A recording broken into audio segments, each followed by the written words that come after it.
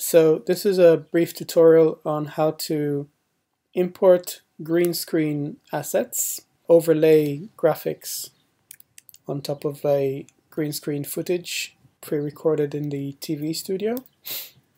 I've already got my assets organized in a folder under week 4 which has both a an example of green screen footage that I've picked up online. It's also there on Canvas for you to use as a, as a training material. There's a couple of um, exported slides that I've created with Keynote, and there's a, a screencast which I've done with uh, QuickTime and using some uh, Google graphics that I've created, and some Keynote graphics as well. So once you've got all the assets ready, including your footage, your presentation footage, and the various overlays you want to use, um, the first step is to go ahead and open or start a new library. File, new library, green screen example. Okay. I'll save this in the same folder where all my assets are. And now I've got a new library called green screen example. And then the next step is to import the media. If you're not sure which library you're in and you don't want to navigate to it using the regular menus, you can uh, hit Command Tab and go back to Finder or click on Finder down and go back to your uh, window where all the assets are organized, where all these files are organized, and just grab the whole folder and simply drag it on top. Now we're at the, at the right folder. I'll go ahead and import all all the stuff that I'll need for this tutorial. I'm now going to go ahead and start a new project by clicking on the new project tab here. I'm going to call it green screen example. The video format is 480p, which is, sorry, 180p, which is 1920 by 1080, 25p. The rendering is always on Apple ProRes 422 and stereo 48 kilohertz. I'm gonna hit OK. And now I've now got a new project called Green Screen Example, which is also open down here. If you're not sure, you can double click it to make sure you're working on the correct project. Now once you've got all your assets within the project, the first thing to do is to take the green screen footage and lay it here as the basis for your presentation. If you've got certain areas, certain places where you'd like the green screen to, um, sorry, where, you, where you'd like slides to appear, um, you could do a few things. You could either create a marker by pressing M, which gives you a marker, and you could give it a name if you like. Slide 1, for example. Or you could already go ahead and cut the footage at this point. Um, that'll be a Command B. I'm using Command B. Which might make your life a bit easier because um, the areas where you cut the footage will correspond directly to the areas where you will put in your um, background overlays, background assets. So one of these, some of these clips that you have prepared. So in this case I've got a few locations where I'd like to um, put a background footage in. Um, little comment I always keep, I always use, and I try and repeat to you guys as well, and I recommend using snap snapping when you um, when you work. Make sure snapping is on. Snapping helps your um, locator kind of glue onto areas where you've where there's a cut or a piece of um, footage is starting or ending, which can greatly improve the synchronicity with which you work. So to make sure you put things in the right place so they're synchronized. Um, So the first thing I'll do is use a uh, regular slide. As you can see, these slides above here are TIFF formatted. TIFF has a um, not only RGB values, red, green, and blue for each pixel, but it also has an alpha layer, which is a transparent layer. So if you place a TIFF on top of your footage, you'll already be able to see both the um, tell us about it both the video and the slide overlaid, as you can see. So this the background of this slide is completely transparent. This is a this is an easy way to um, overlay keynote graphs if you export them as a TIFF and make sure the background is transparent. I'm going to show how to do that in a different tutorial. But for this tutorial, because we're using chroma key, what's called chroma key, which is green screen, or it could be any other color really. Um, we're going to use slides that do not have this um, transparency overlaid behind them, and also some footage which is also not transparent. So the first thing to do is um, take your footage or your slide, it doesn't matter, they're treated exactly the same. I'm going to take a piece of video and place it underneath the image you want to use.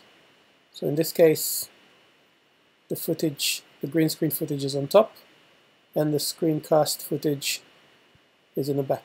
This is the screencast, screencast I created.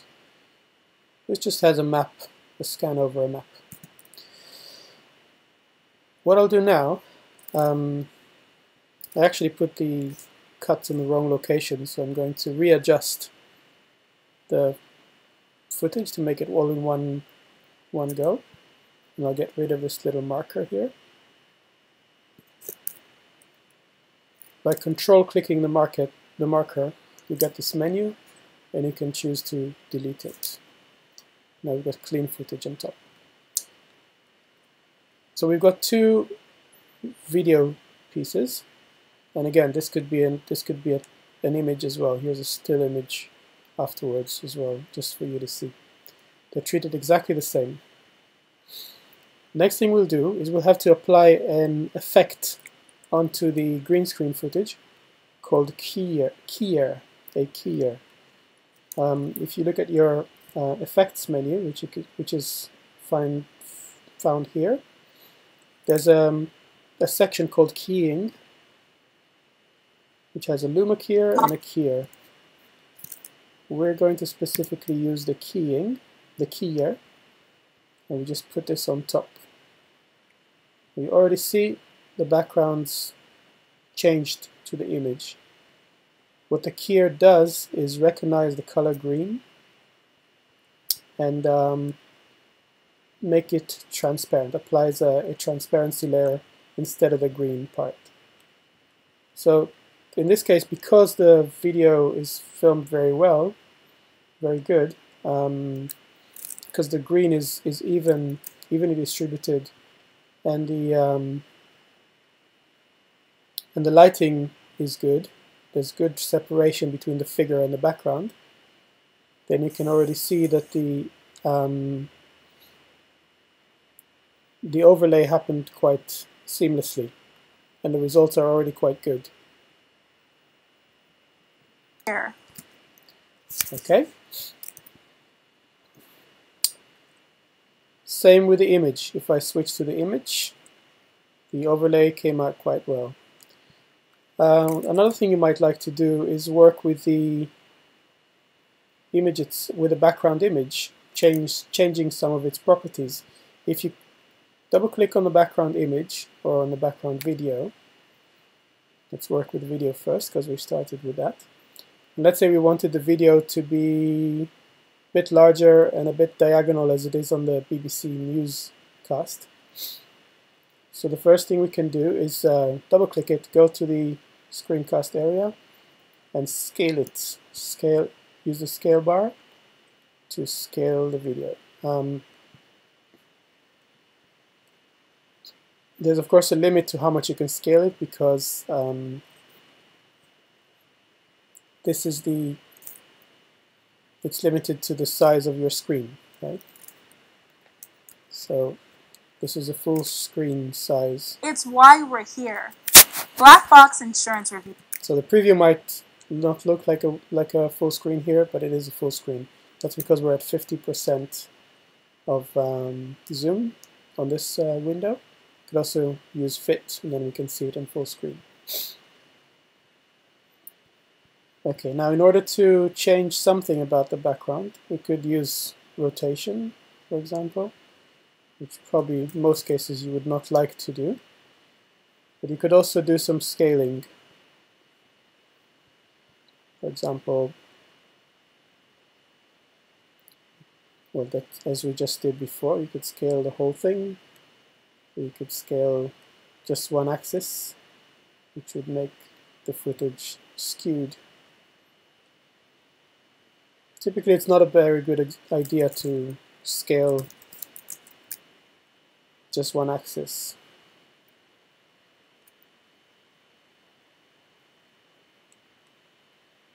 You can also move the footage from side to side.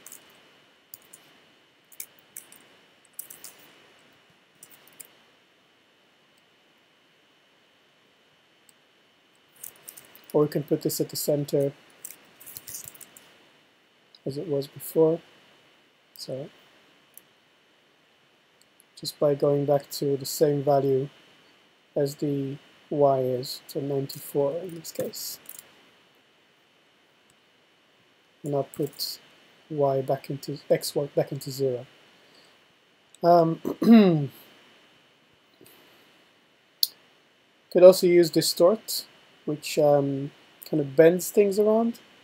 And I guess in the example from the BBC that you saw, um, we could easily use distort in order to animate this clip. So for example, there's a distort value for bottom left, bottom right, top right, top left, and both of them are from, we've got an X and a Y distort element. So if we distort the X, it'll go this way. If we distort the the y, it'll go that way. To create a simple screen within a screen effect, we could probably distort the x on the bottom left and on the top left. So in the same value, 176. Now we've got a screen that's a little bit more skewed here. And then if we added a bit more y on both sides. Sorry, a bit more y on both sides. You can sort of create an effect of um, geometry happening within the frame. So as you can see, y goes up for as long as it can I'm going to take it up all the way and the other the bottom right y sorry the bottom right x that's the wrong one let's take the bottom right y and move it downwards because we want to make it longer and stretch it all the way to the end of the screen. So here we go. We've got both the up and the down going with the same value. So as you can see, I've shifted this corner up here by 102, 102 pixels up, and the corner down here, which is the bottom right, I've shifted downwards by minus 102 pixels.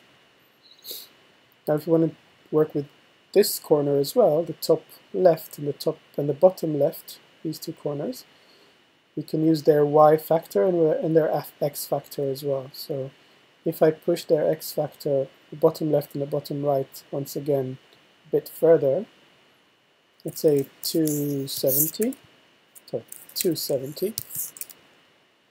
And there's 270 in this corner as well. Now we've got a diagonal screen in the background. Now what I'll do is I'll hmm, I'm going to make a, a little animation, automation animation, to make to try and illustrate an effect where the screen is coming out from being, being frontal is being shifted away to becoming diagonal. So I'll decide what is the point where I want the screen to become to be diagonal and I'll make it this point.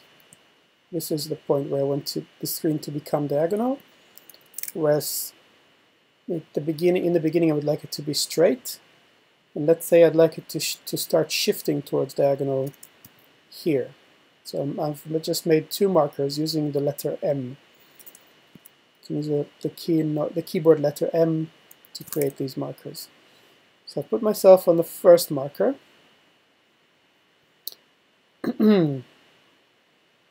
sorry, I'll put myself on a second marker and then I'm going to um, create a keyframe, add a keyframe for all the values that I'm going to that I've changed. So all of those values, if you look at the background video, just highlight the background video, go into the settings here, and you'll see the values that have changed. So there's a scaling element. I'm going to create a keyframe on this side here. There's a distort element. So all of the all of the different um, dimensions have been distorted. And that's it. So these are the seven elements I've changed, or six rather. Then I'm going to go back to the first indicator I've put, the first marker I've put in, and I'll change the footage back, change those parameters back to where they were initially before the distortion happened, which is in this case 0, 0, 0, 0. In the case of a scaling, right now it's at 94%, I put it back to 100%. Okay, so that's 100% scale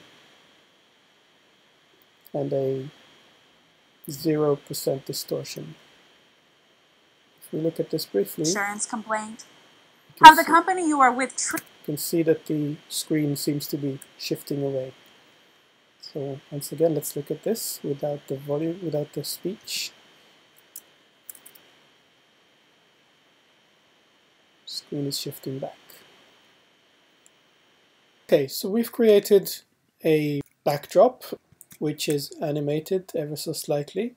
We've also added several types of footage. We've got a slide here. can have a few slides, different ones, once again, importantly, the footage has to be underneath the green screen footage. Of course, with the slides, we might want to change their location. You can um, fiddle with their position, their scale, their size. If you want to make smaller slides, for example, a so you can scale back. And in this case, if I want to locate them on her left and maybe a bit higher, so it's it's all quite easy to, to do. In this case I've shifted the position minus 440.4 pixels to the left, changing the position here. You could literally just drag your mouse, click and drag on top of the number, and 196 pixels to the to the top. And the scale is 56% of the original size of the slide. Um, could do the same with the rest of the slides. So just copy those numbers in. 440.4, 196, 56. Minus 440.4, oops, 440.4 56 sorry um, that was 196 that's the Y position and 56% of the scale. If you use exactly the same numbers then you get a, seamler, a seamless transition between slides. We'll do the same with this one. Minus 144.4 I think. And then 196 56 that's the wrong one of course. Wrong wrong values so that's 440.4 rather than 144 440.4 to the negative of course so now all slides are aligned in the same location and you can see this background footage as well. now let's say the background right now is quite dark. Um, let's say we wanted to add some kind of a kind of Winol identity background for the whole video. So I'm going to go ahead and import another another piece of uh, footage, which is just the, the Winol identity package. So file import media. And I'm back in our folder. I've got a Winol intro graphics on the ready. And I'll add that in. And I'm going to put this video in the background behind everything else. I'm just going to go ahead and loop it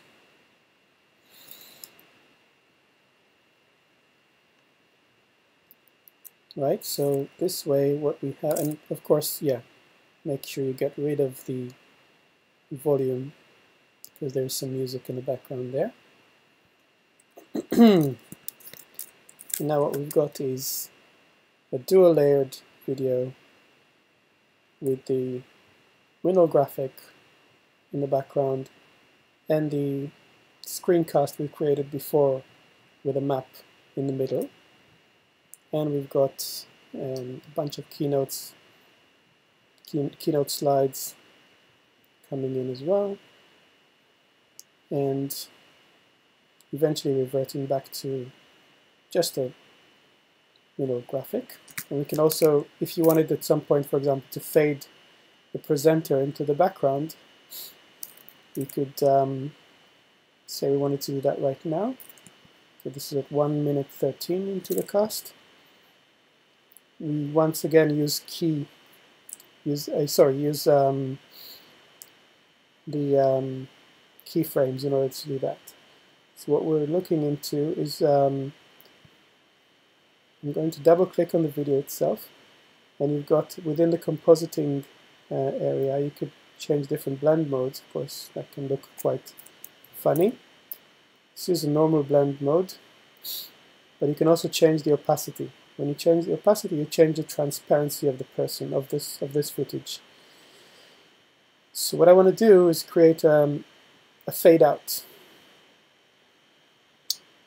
And rather than using an effect for fade out, I want to control have more control over the fade out properties. So I'll make a marker here where I want to fade out to start, and another marker where I wanted to finish. Well, somewhere doesn't really matter. Marker here. and we'll switch back to the first marker and go to, well, we don't need the keyer anymore, we can hide that. Go into the compositing menu and um, add a keyframe at this point for 100% opacity, which means it'll stick a point here where the opacity has to be 100% an automated point. And then we'll switch back to the second marker and we'll change the opacity to zero. And we'll put another keyframe sorry, we'll keep the keyframe there. Just want to make sure that, no, I've made a mistake here, sorry. Just the, just put the opacity back to zero. You don't need to press the keyframe again. So we've got one keyframe here, and which ends here. So there she is, fading out. This is quite a long fade, so I might un undo what I just did, edit, undo opacity change, and I'll make the opacity change a bit quicker by changing it here. You don't have to have those markers. Those markers I'm using just for convenience. So here we go, back to zero, and I can delete these two markers. And let's see what's happening.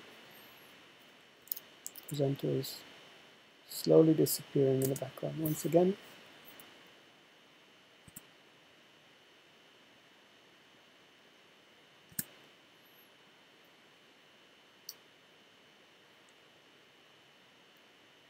There we go. And we can end this nicely with a Winol, winner take all, takes all. okay, so this is a quick tutorial about these, um, about how to do a chroma key and how to change the background overlays so that they seem like an interactive set of graphics in the background. One last thing I would probably do to make this seem a bit um, more smooth is to blur a little bit the infographic. I would, the intro graphic. I would kind of be inclined to do that. If you look into um, into the blur section here in the effects, so once again, effects can be found here on this pane here, and you go into the blur area, and just uh, usually pick the Gaussian blur, this one, and I'll just put that on top of the you know intro graphics and um, for as long as they're for as long as the Winol intro graphics are not uh, are in the background of something else when we go back to only using Winol intro graphics then we can also um, we can have them less blurred. The other thing, if you if you notice, the Winol intro graphics are quite quick, quite fast. Um, the other thing you could do is um, change the speed of the background. So speed retime. So that's called retime in Final Cut Pro. Um, so let's use retime to slow down by to slow down to 50%. Okay, so that's a longer longer clip as well. And I'll copy that again. So I'm going to loop this the clip in this speed. As you can see, we've now yeah, we've now got a softer version of the of the intro graphics. I might retime this clip as well. We've got a software version of the intro graphic going more slowly in the background. Let's look at it. Slightly slower, which makes things a bit less painful on the eye, a bit less um, attention grabbing. Okay, and the map the map becomes more the center of things. Um, then once all the graphics are done, we can go back and see the regular Winol footage. And I think I'll slow down the speed of that footage as well. So I'll retime it to make it slower by 50% as well. And I'm going to cut away the numbers bit and just use the graphics bits.